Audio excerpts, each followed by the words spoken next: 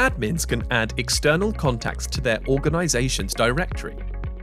To add an external contact, go to the Directory Entries tab in your Starleaf portal.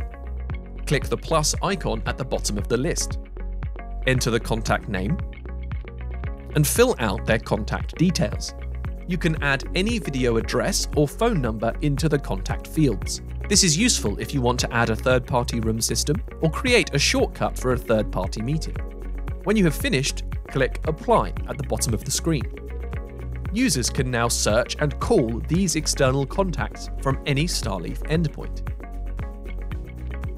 You can remove these contacts at any time by going back to the Directory Entries tab, selecting the Delete icon, and clicking Apply. For more information, visit support.starleaf.com.